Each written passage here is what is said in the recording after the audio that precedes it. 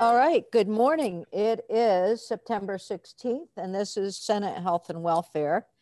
Uh, we have uh, a small committee this morning because appropriations is meeting, but uh, we we will go through some of the budget policy language that uh, is in our jurisdiction, and so that we can better understand what's there, and then perhaps make a, a recommendation.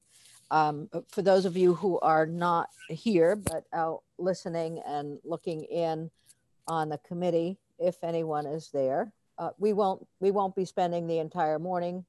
Uh, we'll work with Katie McLinn and Nolan Langweil and on the budget policy language, and then um, have our, our short discussion and call it a day. So, Katie, thank thanks for being here. And I know you had said that there were sections of the big bill that contain um, mental health uh, embedding in police and some of those issues that we have looked at.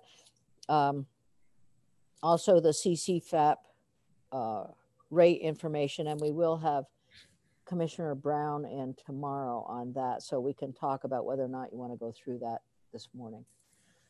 So, Okay, let me, I'm working to pull up the document right now. all right, great. There we go. Okay, Thank you. this is section E E314.2 of the budget, and this is the language that House Healthcare most recently worked on um, with regard to the proposal that originally had 525,000 going to DPS versus mental health.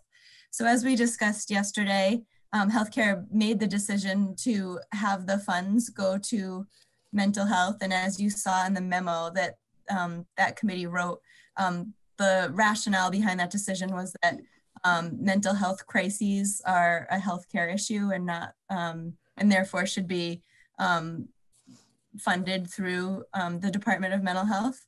So you'll see that the money is going to DMH for fiscal year 2021, and that DMH is to collaborate with um, DPS and other stakeholders, including individuals with lived experience of a mental health condition or psychiatric disability, and those whose identities cause them to experience additional marginalization, and expanding regional models that strengthen partnerships between law enforcement, mental health, and social services through clinical staff positions that address crisis response to mental health emergencies. So that, that this is what the money is being used for. So we're, we're um, kind of braiding together um, response to mental health crises through a law enforcement, mental health, and social service lens, and um, looking at doing that through um, clinical staff positions to address crises. The purpose of the So, program ask is, a question. Sorry. no, Can I- please. Is it, um, I think we should ask questions as we go along because we didn't memorize the memo, um, yet. Um, and. uh, Next on my so- list. But my question is this, in the discussion that went on in the House, or this, does this language direct the Department of Mental Health to be responsible for determining which regional programs, or how is that being sorted out? Is that something that's happening through the MOU with public safety? Why don't we look at the rest of the language? Okay, uh, If that's okay with you. I, I think that no, that, that's good. um, and, and then we can, if it's not addressed, remind me again and we can circle back. But I think the rest of the language might help to fill in some of the gaps. Okay, Um, So this goes on to say that the purpose is to enhance the statewide response to um, crisis, reducing involvement of law enforcement when those supports are not necessary for public safety, and ensuring strong, strong coordination when those supports are necessary. So again, um, just a recognition that um, public safety supports are not always the ideal um, supports to address a mental health crisis, um, but there are circumstances when those supports are necessary.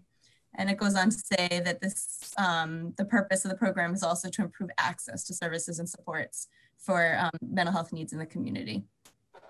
And then um, in subdivision two, um, it gives some direction that to the extent possible in hiring individuals to carry out the section, DAs and SSAs providing the services shall give priority to qualified individuals with lived experience.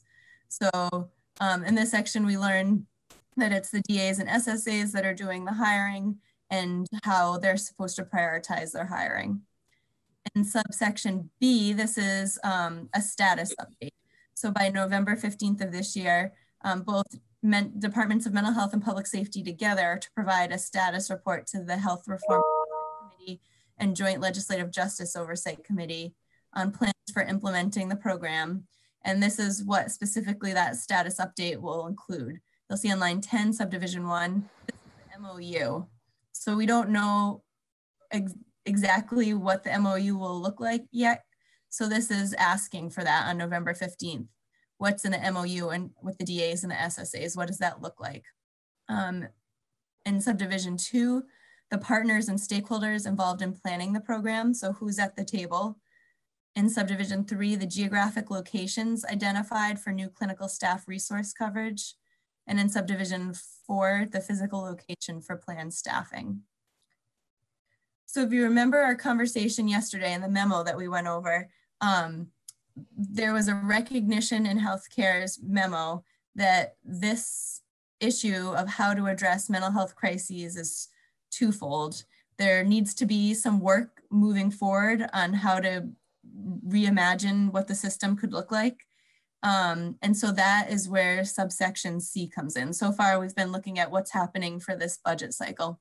But subsection C kind of turns to the future and um, asked the Department of Mental Health to coordinate further development of a cohesive statewide approach to mental health emergencies and emergency calls under the leadership of impacted communities in collaboration with the Department of Public Safety, the DAs and SSAs, the Department of Mental Health standing committees for adult and children's mental health, and that in doing this, the approach would be consistent with the 10-year vision that this um, committee received a presentation on earlier in the year.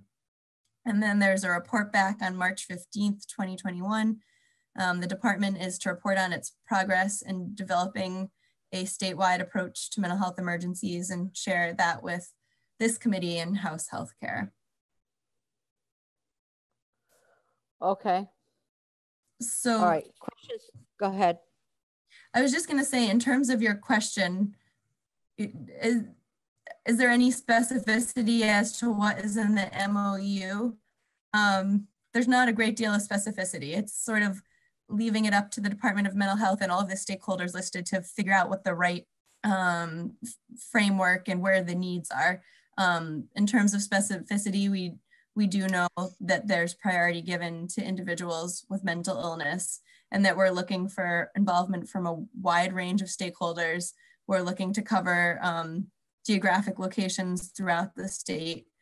Um, but besides that, there isn't um, and a lot of specificity as to the requirements of what the MOU must contain.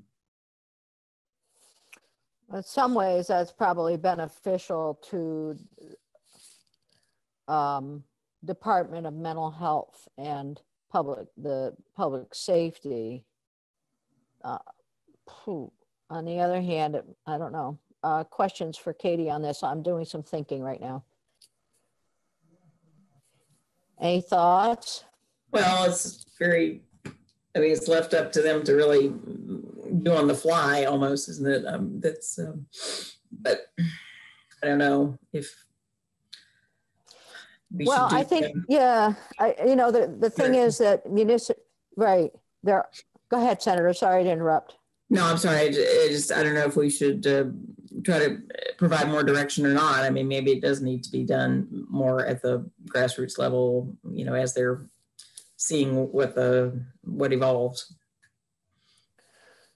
Uh, so when Katie, when you talk about the stakeholders involved in working on the MOU, that is really uh, the people in charge are DMH and public safety. And then they look to partners and stakeholders to complete their work and to produce an MOU. Is that accurate? The grouping is, um, it's beyond just DMH and public safety. Um, starting Okay, on lines 10 and 11, but um, so other stakeholders, including individuals with lived experience um, and those whose identities cause them to experience marginalization. Um, so um, it, it is casting a wide net to pull in to pull in a bigger group of people than just folks from the administration and the two departments. Well, as I think about what's actually happening in our municipalities, their municipal government and local police have been very much engaged, but this is more about state police. And so the models that are out there are models that have been developed locally, either between a hospital and a Howard Center or other uh, uh, organization similar like Washington County Mental Health. So those, those organizations are already working on some collaboration and they have some expertise in how response takes place. Um, is there anything in here? Well, it does have them go, scroll down, I think. It does have them look at um, current models, right, in the state? No. These are the things that the Yeah. um, report back. The report back includes the MOU, partners and stakeholders, geographic locations, and um, physical location for the plan staff. Huh. I mean, for me, it, it see, I, what, what would, huh. It may be that the state police can link in with a current program. And that the current program can simply, simply be expanded to cover state police calls in a specific region. So I guess that's the thing I'm thinking about. We already have some ongoing programs and they're very they've been proven to be extremely uh, good and and uh, effective am i making sense committee i, I mean do we uh, do we want to step into this or uh, with some kind of single line about um, co- uh, possible coordination with current um, programs That makes sense. I mean, Department of Health for further development of a Sure, can I- cohesive state, that, it talks about a cohesive statewide and impacted communities. That, that, that gets to that. Senator Cummings. I think we're stepping into the area of micromanaging. Uh-huh. Um, I think that people involved in this work together now. They know they can do this. They don't need us to tell them to look at successful local programs. And I think if we let them work it out on their own, um, I think we have to trust them at some point. Well, I'm with you on that. My concern is that we don't develop parallel systems all over the state. That, that's my only concern. And I I- agree with you that the, the DMH and public safety are perfectly capable of diving into this, but um, sometimes things take on a life of their own. And maybe that's, see, maybe that's the next step, the statewide approach. So, does- Line 18 does say under the leadership of impacted communities. Um, yep. so that sort of implies that communities where there are already existing programs. Yes, and, and it will fit in with the Department of Mental Health's uh, 10-year plan, so I'm Mm. just trying to make sure we're not leaving something out. I, I have no interest in uh, doing this work. But I do have an interest in ensuring that w- what's here is gonna, won't lead to um, problems later on. Okay. The other question that we probably should answer is going back up to the money. Um, who gets the money and who administers it. And uh, I th- there might I we heard a strong uh, recommendation from Mike Schirling that the public safety needs resources and that they could do the work if they had the resources. But I, uh, of course, we're committee on health and welfare, so I lean toward the comments that are here by the uh, healthcare committee that this is a healthcare issue and the money should flow through the Department of Mental Health. As the money flows through the Department of Mental Health, Katie, does that do anything to detract from uh, what's available for the program itself? I mean, is it going to take money Are you asking- administer? uh, Will, will it take money? Yeah. You're Uh, asking we if it know. takes money from an existing program? I'm, I'm not the money person. No, no, no, no. No, no, the five hundred and twenty-five thousand dollars will go for boots on the ground. That's it, right?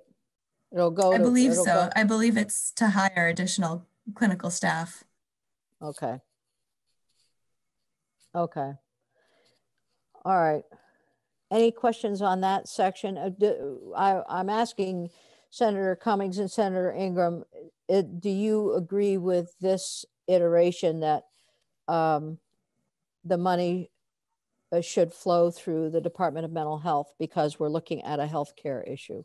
Uh, yeah, I actually feel quite strongly about that. I think that's where the money should go for sure. And any, are you No, okay with that? fine. Yeah, okay. I, I feel that way too. Okay. Hey, Senator uh, Lyons, Yes. um, is your intent to review this language and then make a recommendation to the Appropriations Committee about this? Yes. Okay, and, and do they know you're doing this? Because they're blasting through the, the budget. right. I'm sure that, I'm sure that they um, are not, oh, well, yes, uh, Senator Westman and Senator McCormack should be aware of this. I'm just uh, making sure that everybody's on the same page, that there's an understanding. in Yeah, well, I'm, may be yes, you're right. They'll, they'll say, okay, we're gonna wait for the recommendation from the committee before we move on this versus they may. They won't. Okay. I'm just making They sure we're all coordinated. Well, thank you. Oh, no, thank you for that. I will be in contact with Senator Kitchel. I did not realize that they were meeting this morning. Otherwise, that would have happened yesterday. Well, I'm not sure if they knew they were going to meet this morning. I just know that they're on an accelerated timeline and they're trying to get it out. Um, so I don't know that they knew they were going to meet today either. okay. Are we gonna be finished this week? Well, the, bu- so next week is the last week. So in theory, you want to get the budget out this week to give time for floor and conference and whatever. Well, we have bills that the House has to act on, so uh, if Yeah. they send us any of our bills back, that would be nice, so Oh, I think uh, next week, pro- yeah. Senator, excuse me, um, I just wanted to, that reminds me that I did get an update from our, uh, House colleague this- yesterday about on the H six sixty-three. They have been told they're not going to, it's not going to the floor in the House. So We will What's not that be seeing, we will not be seeing it. They have been told apparently by their leadership that they only want to pass things that are emergency or related or directly related to COVID. So no, no contraceptives in the schools or wellness or menstrual products.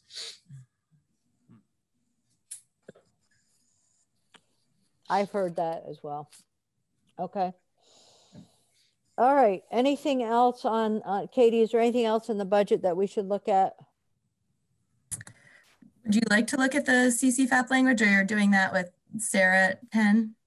I think we are tomorrow, but it, um, i- is there, is there, is there something we can look at? Can you just briefly it up, take us yep. through that? Yeah.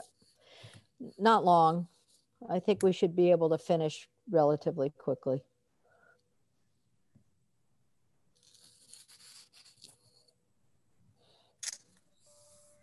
Oh, darn, that was the healthcare version. That wasn't the whole. Hold on, I'm going to stop share. Okay. I'm going to try to correct document.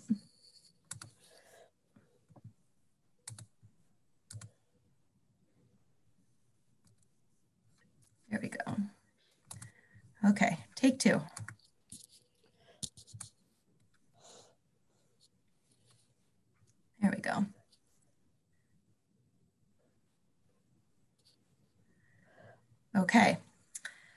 So the next section in the budget is E318, and this is the Child Care Provider Stabilization Grants.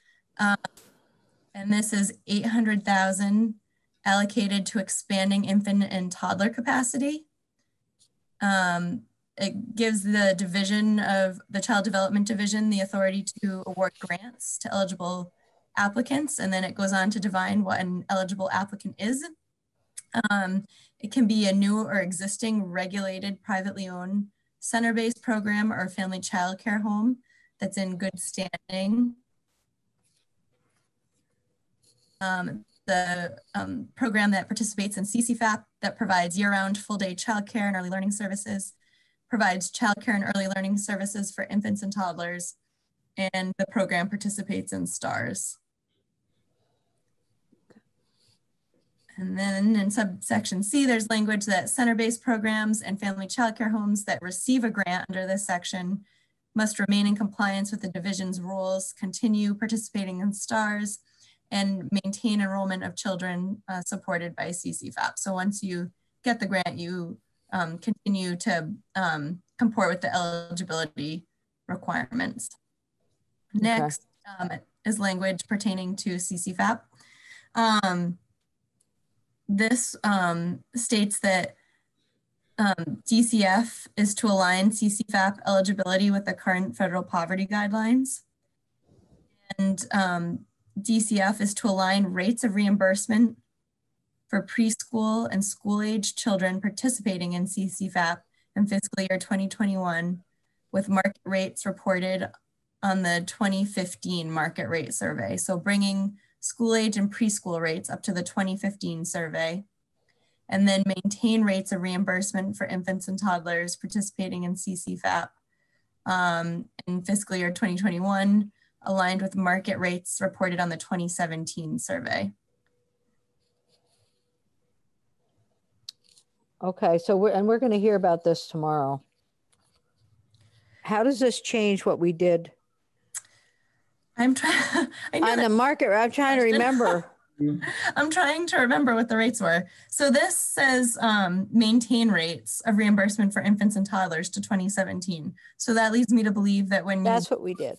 Childcare bill last year, you must have done 2017, and the fact that you're moving preschool and children um, to 2015, it makes me wonder if it was 2014 last year don't quote me on that. I have to go back to the bill and yeah. see where it changed so many times in so many different versions. I can't remember where the numbers finally landed. Um, right. I think we've had emails about this, but we'll, you know, we'll thank you for looking. yeah, the emails have to do with, um, so yeah. the survey is done every other year. Um, and so this is asking um, for like an interim market rate survey to see right. how COVID has affected the market rates. Yeah. And then if you remember, um, the childcare rules changed um, two or three years ago. Um, and there was language and a lot of discussion uh, last year and two years ago about creating a variance for childcare providers who've been working for a certain number of years. So this um, language continues that. Um, individuals that are operating or employed in a registered family childcare home or as a director or teacher associate at a center-based program for 10 or more years prior to September 1st, 2016.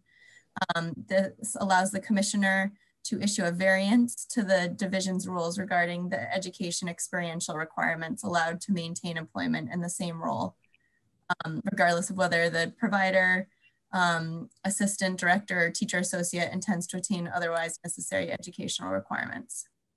It goes on to have eligibility for the um, variance. The person has to work continuously in a regulated program with a full license and good standing and meet the division's educational experiential requirements that were in place as of September 1st, 2016. And um, the commissioner has the authority to review any violation occurring in a regulated program where a family child care provider, the child care assistant, director, or teacher associate is under variance and may revoke the variance granted depending on the seriousness or circumstances of a violation. And any variance granted under this section is to be terminated on July 1, 2024, and extensions cannot be granted beyond that date. And then um, there's language on general assistance, which I'm not familiar with. Um, so that's the end of the child care. This looks like, it, it looks like it's also related to COVID in some way. Is that true? Yes. Okay, Um, looks like it. I think this is the, um, well, it's temporary housing in catastrophic situations for vulnerable populations. Yeah. Um, so I don't know that that's necessarily COVID re- related. No, Um, but it, it's the temporary housing weather, for- right? whether, yeah, Yeah, okay. I think, Okay. um, my guess is that is the language that we've been seeing, um, the past few years in the budget around, um, GA housing. Yep. Okay, I'm gonna Okay. stop the share. There we go. All right. Questions for Katie? That's good. I, we, we'll, we're gonna dive into some, um, budget stuff tomorrow and we're also, we're looking at stabilization, uh, funding and how that's going. So we'll, maybe we'll be able to ask some questions then if we have them on this. Okay. Anything else, Senator Ingram, Senator Cummings? Is it, it's your understanding that we'll be able to do uh, H six eleven today on the floor? That's the, uh, you know, the, I, I sent that email to uh, Senator Ashe. Mhm. Um, and I, I, I don't know that I, I don't know whether I've heard back. I did not hear back late last night. I haven't looked thoroughly at my email since about seven o'clock this morning, so I don't know. Um, okay. Well, I'll be ready, I'll be ready. I'll- uh, I'll be Yeah, ready. So, when uh, it's here tomorrow. so I know that we've got, we've got seven ninety-five is coming up. I know that we've got the uh, Act two fifty bill and I, there's another bill, three fifty-four, I think, um, on hazard pay. Mhm. Uh, so we've got those bills. And then depending on how everyone's feeling, it would be good to get six eleven across the, across to the house, back to the house. They're very anxious to have it. Yep. So it's interesting that we've gotten all of our work done on all of their bills and sent them over. We haven't seen one of our bills come back, really. Yes, this is, this is something we remark on in Senate education all the time. Well, you know, Seems to be a black it's- hole, it suggests to me that we're going to slow down next time. Yeah. Anyway, not really. We get our work done. Yeah. All right, committee, is there anything else that we need to do today? Okay, I'm thinking that um, after tomorrow, our week, next week is going to be pretty light unless we see something coming back to us. What I'm going to do is um, I'll work with Nellie and just schedule some committee time on uh, Wednesday and Thursday. Keep your ears open for Tuesday. We won't schedule anything for Tuesday next, but uh, unless we need to, if there are amendments or things like that that we need to pay attention to. But we'll set a committee schedule for Wednesday and Thursday with committee discussion in place and then see what comes up and we may or may not meet those days. How's that? And that, that's how, you're, you're muted, Senator Cummings. I will only be here for a short while, if that long tomorrow. I have Tomorrow we have joint meeting with the House in the Okay, beginning. so you won't miss me. Okay. I will miss you greatly. We will miss you. Okay. Okay, does that sound good, like a plan? Uh, I'm going to suggest this, um, Nellie, I'm going to suggest that we, um, go off live and that if you and Katie and Nolan can stick around, we'll do a quick agenda planning meeting and then that'll be it. Thank you both.